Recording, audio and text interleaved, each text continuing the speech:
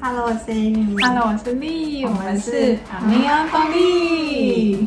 好，我们今天要讲的是，就之前会员区大家也还蛮想听的职场暗黑教学。日本职场。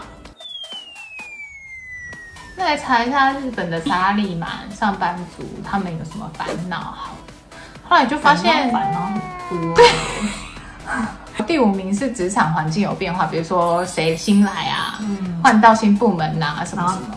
调到别的对对对县市去，我不知道台湾应该没有吧？他们每年会有两次大调动的实习，我们是一次，所以大概三四年会换一次，换一次就算自己不换，一定会遇到新的人。对，对，来来去去。因为我们又变成说，就是你遇到一个新的人，他以后搞不好还会遇到，而且搞不好还是就是一起做事的相关的人，所以你不能，你要去维护那个你人 不能就。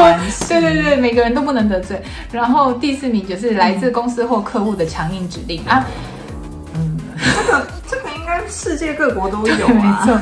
然后还有就是工作上的失误和工作出包，就哦，我真的要说，我觉得日本人很怕错，嗯嗯，我超不怕错的。因为你怕错就会不做事、啊。对啊，我我我觉得我有信心把它纠对，我有信心修，而且我我会尽量做到不错，但是我不会觉得人不会错。第二名是工作太多，就是可能他不得要领，然后又别人给他很多什么的。还有他们不懂拒绝。第一名是人际关系，有二十八趴的人在人际关系上有烦恼，或是感到疲劳，或是有压力。三成对，嗯，把人逼死的都是人。对，都是人。在日本的，在人际关系的第一课最重要的是，你要把自己打一个人设。像我们今天为什么头发那么 那么头发那么金也没有问题，只是因为我们有个疯癫的人设，对，不是你哦，是我，我是一个疯癫人，所以大家觉得啊立场就是我现在也是这 样。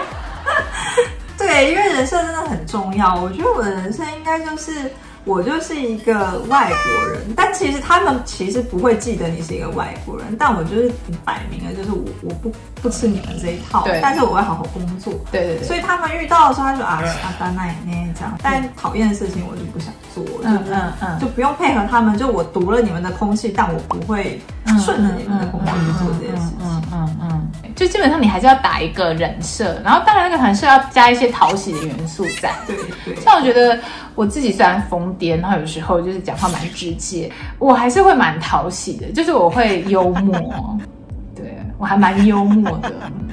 你干嘛？你有一种让我觉得不要你很幽默啊！你干嘛拆我的台？没有，我想说，我想说你的讨喜，那我是什么？后来就想说，我人其实还蛮好。对，你是哦，我觉得阿米有一个人设很好，就是你看起来人很不好，对可是事实上你人很好，所以就让我觉得哎呀，杀气讲的对那个感觉，这个也是一个讨喜人设。对，对，我前阵子也被一个第一次工作的人不停的说我很雅萨西，然后那个人据说还蛮难相处的，对旁边人就是跟我说，就是哇。那个 Lisa 的ことすごいいいいいいい对对对，然后我想说啊，我明明就很正常，而且因为他还有点怪，所以我还已经比平常更直接了一点，然后结果没想到他就觉得我很雅萨西，他平常到底是得到什么对？有可能是因为我觉得其实日本人， 大部分日本人他们有时候会因为有优干那而变得很不雅萨西，嗯嗯啊，不然说他就不不把你就是 identity 来。就是不理你。可是我我是一个不管怎样我都会理你的人。我觉得如果大家在想说，如果要在日本工作或什么，就是人设要怎么设定的话，可能可以先想说你自己最不想要妥协的点是什么，嗯嗯然后你那个人设就保留那个地方，其他的地方你就随着他们去。像我应该就是一些打扮，对，我的应该是自由吧，就是你不要来管我细很细小的事情，就是细节不要来管我。这个我也有。因为我们两个还蛮像的、啊，对啊，会不会台湾女子都是？有可能。我们之前已经讲过蛮多次，就是当被踩，一定得踩回去。一定要踩回去。因为日本是一个排排排排序序序列的纵向的社会，所以就算你的那个部门里面只有十个人好了，每个人的人的心中都有那个排序在，很可怕哎。他们的优先顺序，而且会很明显哦，对就是在讲话的态度啊，然后拜托你做事的那个时间点都会有差。对对对对对，有差，超级有差。所以如果你要要过得好一点的话，就不能当那个人人踩人，不然你真的会很辛苦。但踩回去也是一门学问，对不对？不是说你要跟不他吵架或对什么的。对对，其实应该是尽量不吵。对尽量不吵，但是要踩回去，该怎么做呢？怎么做呢就由阿米来跟我们解说一下。我原本是广告公司出身，而且一直都在做就是品牌跟 marketing 嘛，然后就遇到了一个欧巴桑，遇到了一个姐姐，嗯。所以他就是那时候就非常的担心，就是我这个小外来人对不懂品牌牌，他就写了一封非常长的 email 来告诉我说，长长的 email，对，就是 brand tour，这这这种就是教科书会写的品牌，所谓品牌，然后是超长的，品牌是为了什么而成立的？我就想说，他好闲哦。但我又不能够直接当场跟他讲说，哦，这些我都知道了，所以我就是把他那一封信，然后就是回信给他，同时 CC 给我老板这。种事我，对，就是这么做。同时 CC 我老板说、谢谢你的提醒，然后就是我们要做这件事情的时候，有跟普拉多的创始者了，我老板是创始者嘛，普拉多创始者的谁谁谁经过什么样子的沟通，所以他也觉得这件事情是可行的。那如果你还有什么意见，以后可以再告诉我们，然后就回给他。你回的超好的，对，然后我老板就在下面写了一句 OK，然 后非常的随便。我后来才知道，其实那个那个姐姐已经有先寄一封信去给我老板，说什一定的。么她很担心，就是新来的小妹妹一会。对，然后我老板就刚刚说，那你自己去跟她沟通啊，是不是很贱？